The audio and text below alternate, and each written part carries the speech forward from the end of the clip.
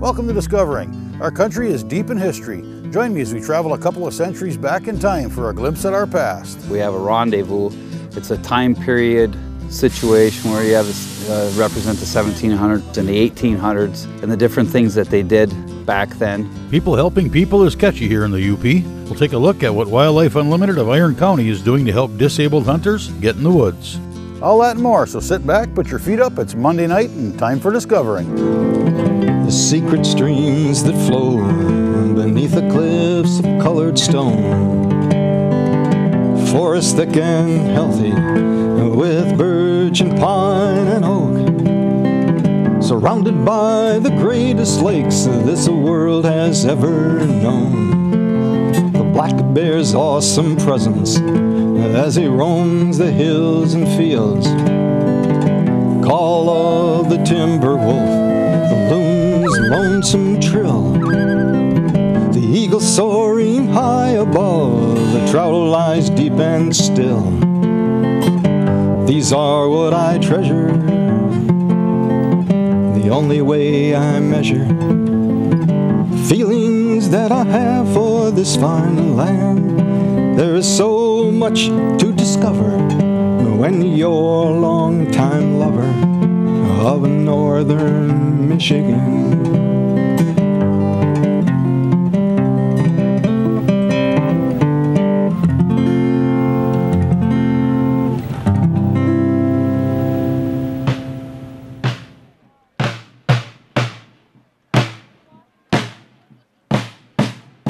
Country is certainly rich in history. We see it in books and learn about it in school. But what if we could get a first hand look? Something that would give us a real sense of what it was like living two or three hundred years ago. I traveled to North Dickinson School where I found exactly that. I can't remember for how many years we've been doing this uh, over at North Dickinson, but we have a rendezvous.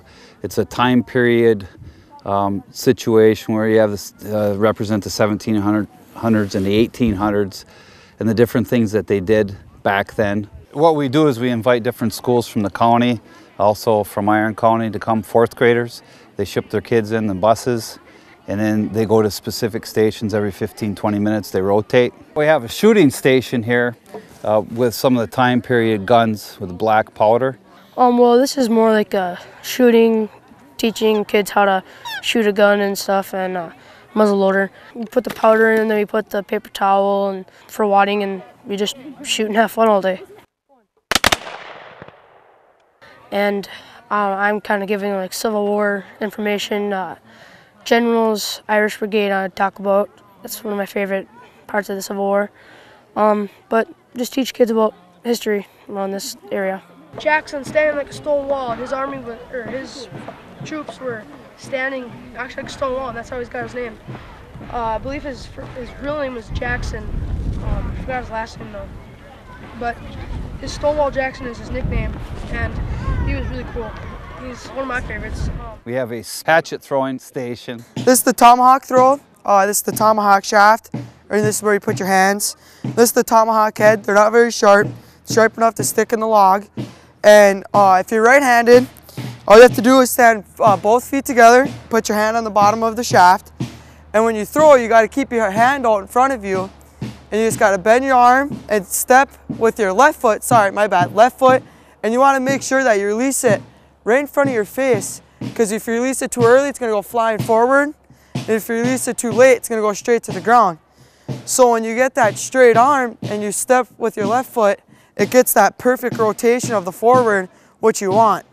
So when you throw it, you release it right in front of your hand, and that gives it that perfect rotation, and it sticks.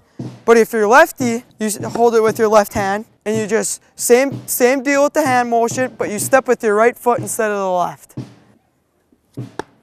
We have a cast iron cooking station where they make cornbread. Today we're um, just helping the kids out. We're showing them how to make cornmeal over a Dutch oven.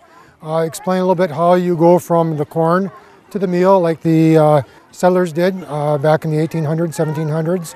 We're also talking about how to make butter, something to put on the cornbread. And then when we, after you're done cooking the cornbread, we let the school kids uh, sample the what, what we've cooked.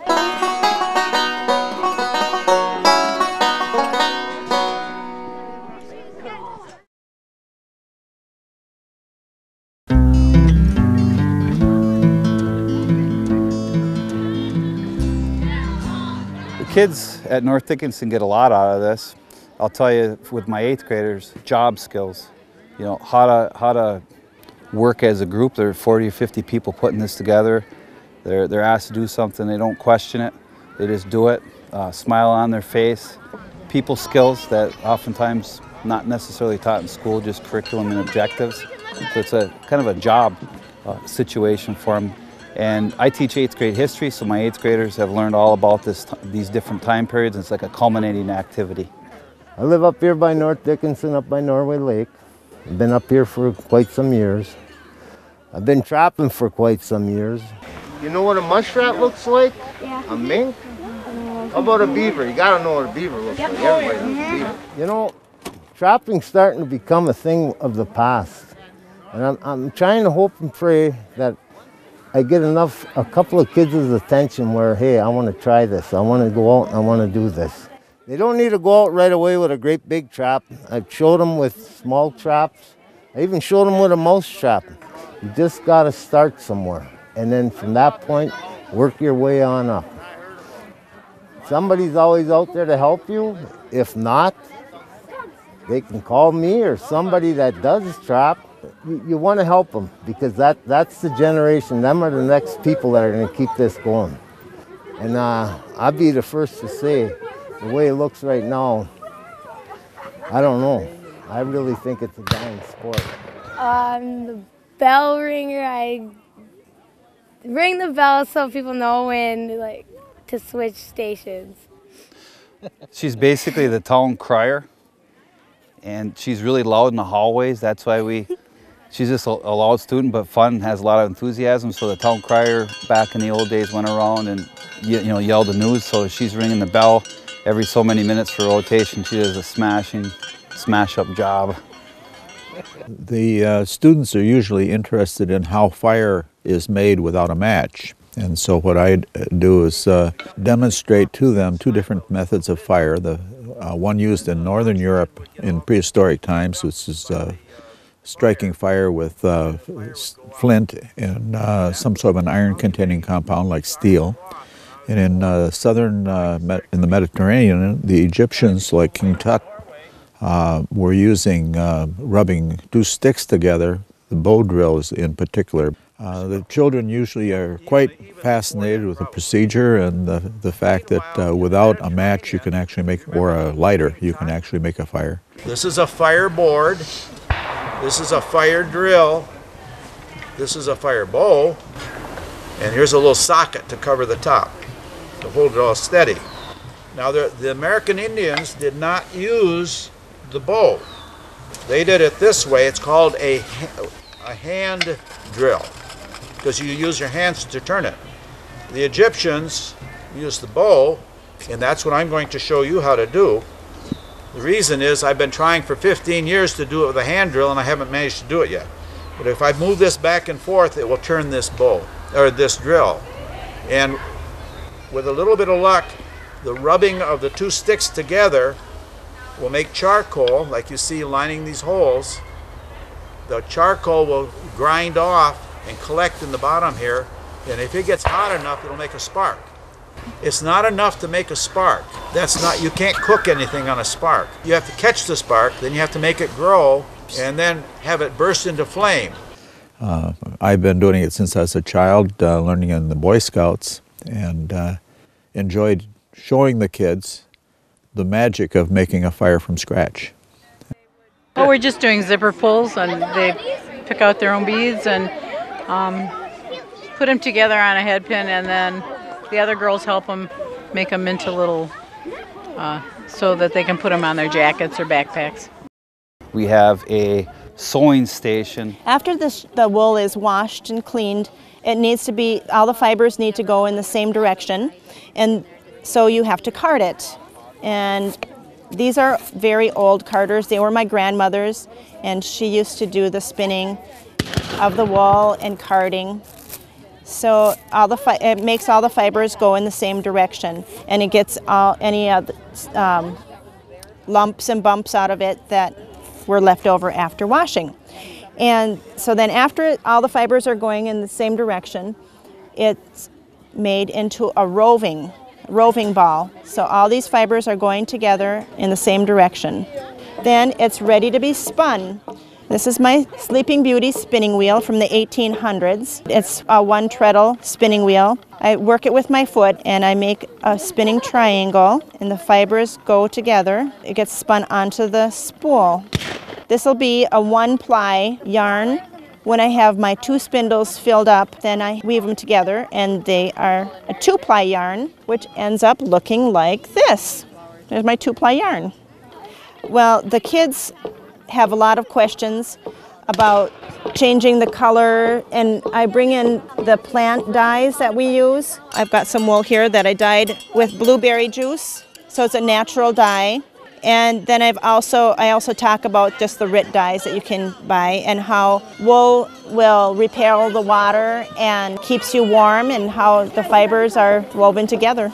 The reason I was interested in in spinning is because of my grandmother. My mother always told me stories of how she would spin. It's just so much fun to have the sheep, get the wool straight from the sheep and be able to make some something to wear.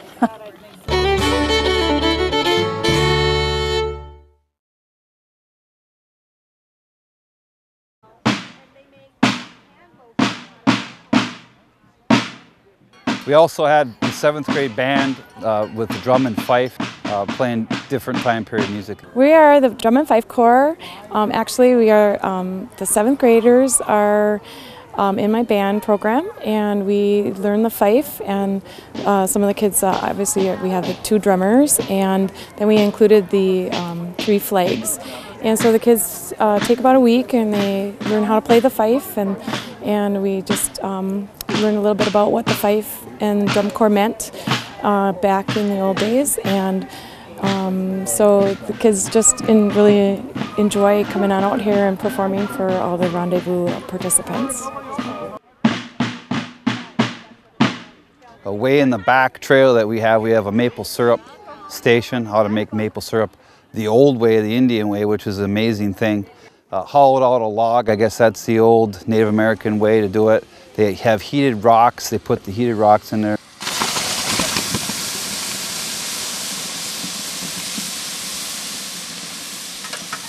We have a basket weaving station. What the kids are doing now is they're um, pounding the black ash log and basically what we're doing is we're separating the growth rings and there's two parts to it. There's a nice silky that comes off and then the summer growth, which is this. And the summer growth, it's rough um, and not beautiful by any means compared to this. And what happens next is once they get one of those growth rings off, that will go over to Lucas. He's on a shaving horse and he's going to use the draw knife to get rid of the bumps and when he gets done it will be almost as beautiful as this. Anytime you make a basket, you have to take the reed and put it in the water and soak it. Um, if you don't, it cracks. We get the reed off of it, we get the growth ring off, and then we put it in the water and we can use it again years and years later. So it's wonderful. Actually, once you get them soaked, you still do not have dimensional reed, so it has to be cut to size depending on what you're making. If you're making a pack basket, it needs to be 3 fourths inches wide. If you're going around, it should be a half an inch. Um, some people make very delicate little baskets. I have one over here that was made by um, a Native American and she used very thin, they're probably less than a quarter of an inch thick, and the basket is beautiful. And then she also dyes the reed, so, and we have done a little dyeing, but not a lot, but the kids love it. Um, the, the first thing, they do some sitting at the beginning, which is not as exciting, but they get to, to see some unusual baskets. And then um, use, they learn about what they were used for. And then the part that they really like is pounding the log. I've made a, a good variety of baskets, but the, the part that I really concentrate on are fishing creels. I make two kinds, round reed and then um, a less traditional with an oak top. I make two sizes of quivers. One is a three inch and that was more traditional. And then the other one is about four inches in diameter. I also make pack baskets. I make a 22 inch high one, which is made specifically for ice fishing.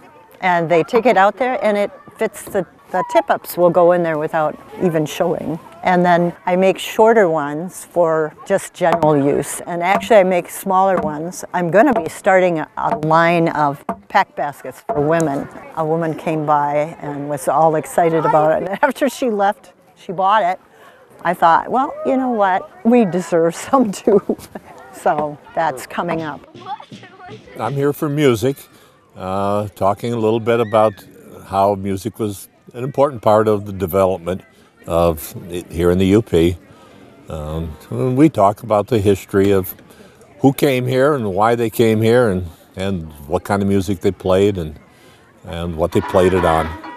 Froggy went a court and he did ride, sword and pistol by his side. Uh-huh. Uh-huh. Uh-huh. Okay, can you come in on those uh-huhs? Yeah, this Okay. is a two-day event, and it takes a lot of different people to cooperate and get the job done. North Dickinson Schools, I'm a teacher. They give me uh, two days to work out here with my eighth graders. They have two days. They dress up in time period clothes.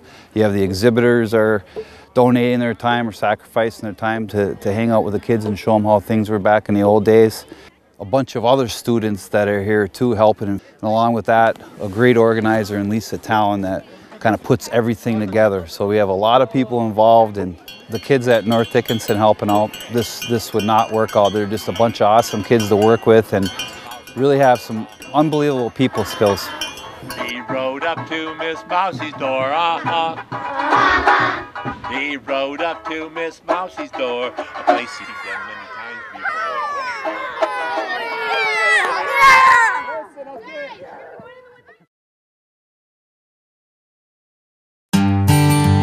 Here's a look at what's going on across the UP this week. On June 5th, Richard P. Smith will be featuring a program about understanding Michigan black bear at 7 o'clock Central at the Ottawa National Forest Visitor Center in Watersmeet. This weekend is free fishing weekend here in the state of Michigan. All fishing license fees will be waived for two days. Residents and out-of-state visitors may enjoy fishing on both inland and Great Lakes waters for all species of fish. All fishing regulations still apply. On Saturday, the Forest Service sponsors the 23rd annual Kids Fishing Day at Camp 7 Lake Campground in the Hiawatha National Forest. Registration is from 11 to 1 and activities will be going on till around 3:30. The event is free for kids 16 and under. For more information, visit fs.usda.gov slash Hiawatha and click on News. The M&M Great Lakes Sport Fishermen will be holding their annual Kids Fishing Tournament on Saturday the 7th. For more information, contact Brian Claremont at 715-735-7346. Also on Saturday the 7th, the Fumee Lake Commission invites you to the Little Fumee Flower Walk at the Fumee Lake Natural Area near Norway. The event begins at 8 o'clock Central, and Phyllis Carlson will lead the walk. Turkey hunting is a popular and ever-growing sport here in the UP. It's enjoyed by hunters of all ages and capabilities. But for some, it's just not as simple as heading out into the woods in the morning. Thanks to the generosity and dedication of numerous organizations and individuals across the Upper Peninsula, the joys of hunting are accessible to all, including our physically challenged. We're showing uh, everybody the Wildlife Unlimited trailer that we built here a couple of years ago from uh, Iron County. Uh, we want to promote it so people are, are familiar with what it, it is and that it's available to everybody to use. Uh, this morning we've had Rob Ivey from Iron River hunting with us again. Rob's been quite successful. He's shot two turkeys out of this trailer in the last couple of years, a couple of bears and a couple of deer.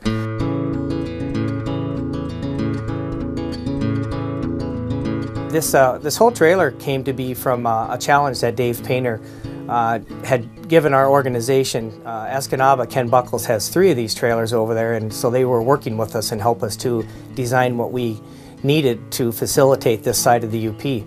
And uh, the, the trailer is a $16,000 unit, and most all of it was, was given by donations. There's a lot of people in Iron County that wanted to see this succeed, and, uh, and they have, and, it, and it's here now for people to use. So we're encouraging that uh, if people have disabilities and difficulty walking and they want to get in the woods, uh, there's a lot of us volunteers that are here to help with that, that whole thing. And there's a variety of different places to hunt as well, uh, as well as different species to hunt. We go bear hunting all the time. The bear hunting story from this year was the bear came in and had a white meat on it, and Dave and his son's fiance were more excited than I was about shooting the bear. It comes in, I didn't even give it time to eat, eat any of the bait I shot. It runs like 15 yards. And it, Dave and Chrissy were freaking out. Oh. Or she was freaking out more than I was. Last year it was a 30 minute turkey. In and out in 30 minutes. This is the system we use. This is from Be Adaptive uh, equipment uh, that, that allows people with uh, disabilities to get out hunting. This is a camera that mounts on the back of the scope, and then we get the image on the screen. And then we have a trigger assembly, which is actually a trunk release for a car. And this is what actually fires the gun. We set that up right in front of the trigger. Then when our hunter, they sip on this tube, and that's what fires the gun. And without it, there's there's people that uh, they just wouldn't be able to get in the woods anymore. Some people talk about it being, you know, just a computer game, but it's not just a computer game. Uh, without this, people like Robbie couldn't get out and hunt. So, um, and we're still, as you can see, it's still hunting. Today we couldn't call in a bird. Uh, it's, it's just not a computer game at all. We, there's still, you know, you're still firing a real gun. You still have all the elements to deal with. Uh, and sometimes the birds just don't cooperate. But yeah, it's a pretty cool system and uh, very high tech, and we're very fortunate to have it here.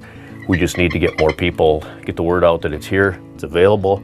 Um, yes, it's in Iron County, but if it's needed somewhere else, there's a good possibility it could be used uh, anywhere in the UP or northern Wisconsin. We'd just like to see it get used. Hunting is always fun. It's been a passion of mine for ever.